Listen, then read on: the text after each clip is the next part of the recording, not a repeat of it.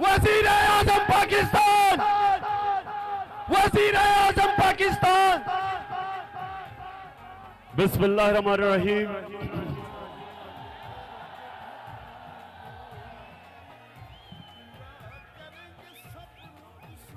मेरे सियालकोट के कारकुनों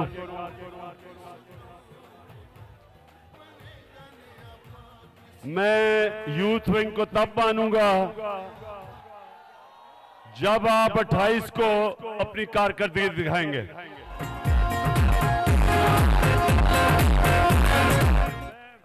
मैं, सुने सुने। मैं गुफ्त, गुफ्तार के गाजियों को नहीं मानता। मैं वो हूँ जो उनको मानूँगा। जो मेरे साथ निकल के परसों से जुमे से जो मैं शुरू होऊँगा, ये एक मुल्क की आज़ादी, हकीकी आज़ादी की जहाद के लिए निकलूँगा। और तब जो मेरे साथ, जो तब मेरे साथ खड़ा रहेगा आखिर तक, उसको मैं सलाम पेश करूँगा। सारे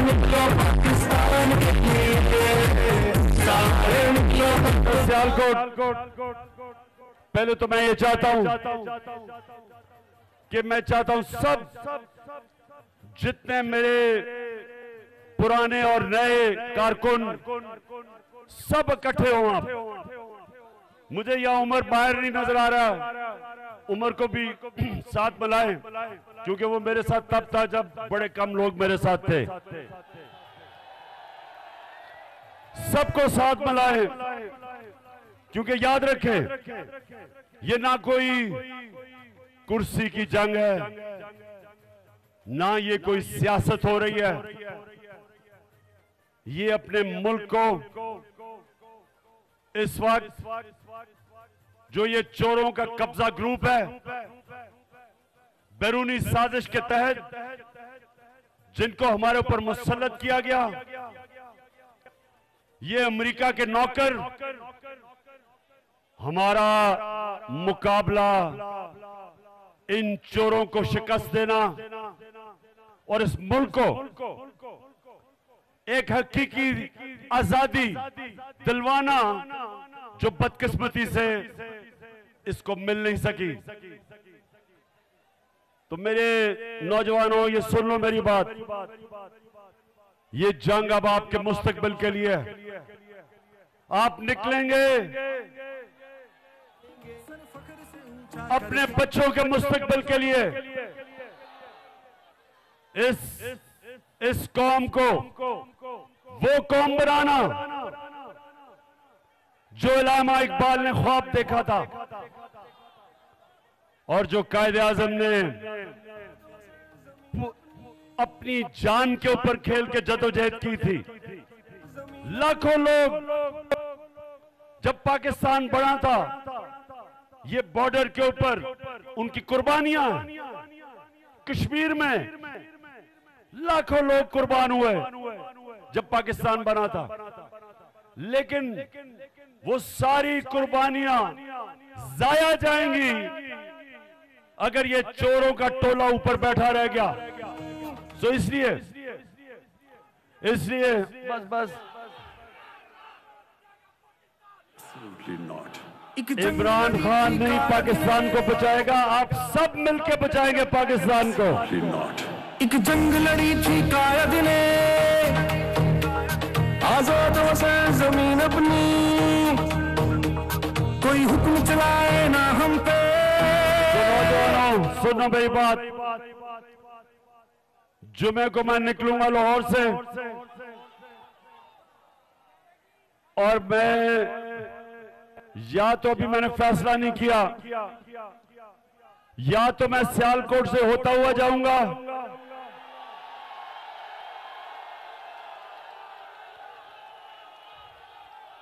या सियालकोट या सियालकोट मुझे मिलने आएगा। फैसला कर लूँगा इंशाल्लाह। दो इतवार तक फैसला हो जाएगा, सबको पता चल जाएगा।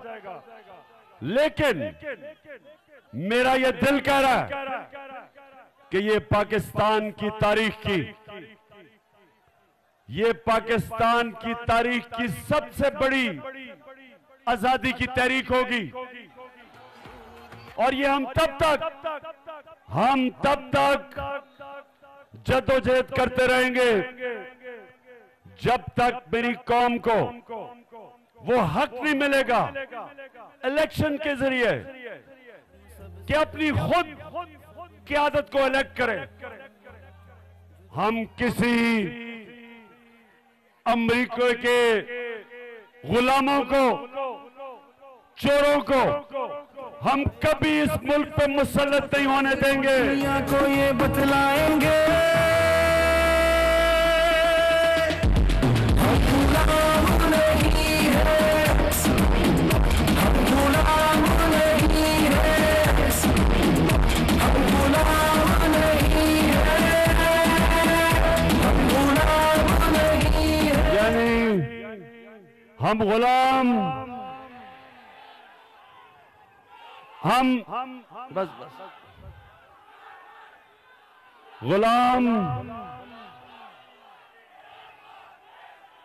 गुलाम सिर्फ़ हम अपने के और उसके बाद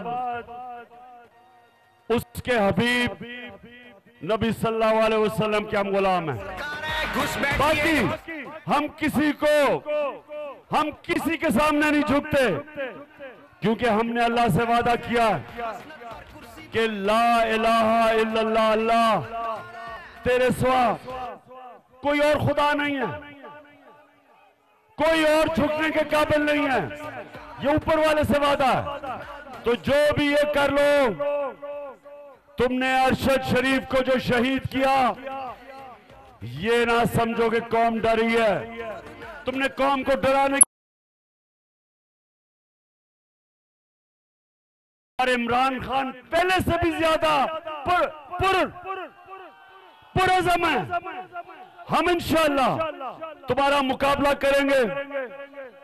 जो जो तुमने जुल्म किए आज़म सवाती को तुमने जो तशद किया उसके ऊपर, उसके बच्चों के सामने, उसके ऊपर जो तशद किया, उसके पोते और पोतियों के सामने हम वो लोग जिन्होंने ये किया था, इंशाल्लाह हम उनको इंसाफ के कटहरे में खड़ा करेंगे। ये जो आदमी, एक जो आदमी, एक अंग्रेज़ी फ़िल्म थी डर्टी हैरी वो डर्टी हैरी क्या थी? एक ऐसा उन्होंने पुलिस वाला बनाया जो कि सारों को गोलियाँ मारता फिरता था, डराता था। ये इस्लामाबाद में भी एक डर्टी हैरी आया हुआ है। और जब से वो आया है वो वो मीडिया के लोगों को डरा रहा है, धमका रहा है। मीडिया हाउसेस को डरा रहा है। हमारे कारकुनों को सोशल मीडिया के बच्चों को उठा रहा है। और उसको एक अजीब उसके जेन में बीमारी है। कि वो जब तशद करता है किसी पे तो उनको नंगा करके करता है। ये बेशरम आदमी, ये हमारी आइन और कानून की खिलाफ वर्जी करता है। और इंशाल्लाह, ये सुन लो और से। ये डर्टी हैरी सुन लो। ये तुम्हें मैं एक दिन इंसाफ के कटहरे में खड़ा करूँगा।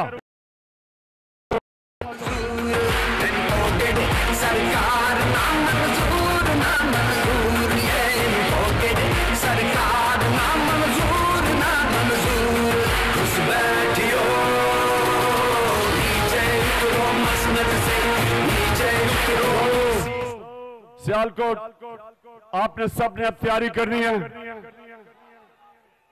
जब मैं तुम्हें पहले तो पता चल जाएगा कि मैं सियालकोट आ रहा हूँ या सियालकोट मेरे पास आएगा, ये इंशाल्लाह इतवार तक पता चल जाएगा आपको। उसके बाद जैसे ही मैं इस्लामाबाद पहुंचूँगा तो इंशाल्लाह सारा पाकिस्तान से काफले आएँगे। और ये आज शबाज शरीफ, तुम तो वैसे ही बड़ा डरते हो, तुम्हारा तो मुझे अभी लग रहा कि हाल खस्ता है। और दूसरा, ये जो तुम्हारा कातिल, इंटीरियर मिनिस्टर राणा सनाउल्ला तुम भी तैयार हो जाओ। और जो तुम्हारे हैंडलर हैं, वो भी सब देखेंगे। कि इस मुल्क की तारीख का सबसे बड़ा अवाम का समुंदर इंशाल्लाह इस्लामाबाद पहुंचेगा और हकीकी आज़ादी लेके आएगा। पाकिस्तान जिंदाबाद। हम झुकते हैं ना मिटते हैं ना अब आप सबने हल्फ लेना है। अपना बाया हाथ ऊपर।